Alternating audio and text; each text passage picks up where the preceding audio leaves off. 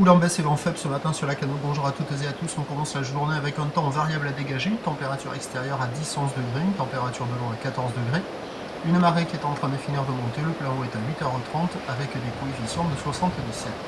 Sur cette fin du montant, le vent est nord-nord-est. Un beau fort établi, petite rafale à 2. On a un plan d'eau un peu ridé. Les phases de vague sont quand même assez lisses.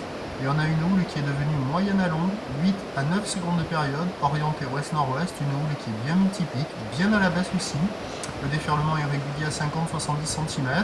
La plupart des séries qui rentrent donnent du 80 et de temps à autre il y a un petit mètre.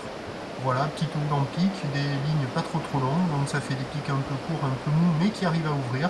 Une houle un peu désordonnée, une zone de déferlement un peu aléatoire. Bon, peut-être un peu mou avec la marée haute, peut-être un petit peu plus creux sur le descendant.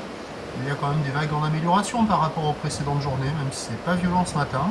Personne à l'eau, euh, personne qui check.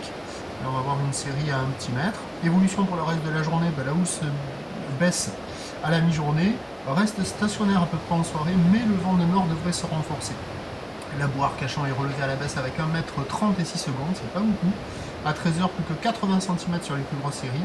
Ou ouest et nord-ouest, 9 secondes, 8 à 9 secondes de période, le vent de nord-nord-est devrait se renforcer dans les trois mots forts, et à 17h, 50-80, peut-être encore un 80 euh, un peu plus long, à voir si ça rentre ou pas, sur une houle ouest et nord-ouest, 8 à 9 secondes de période, et le vent de nord qui prend 3-4 beaux forts. Il y a du surf ce matin, en début d'après-midi ça doit être dégradé a priori, et à surveiller la fin de journée. Prochain point 8h30, à tout à l'heure, merci.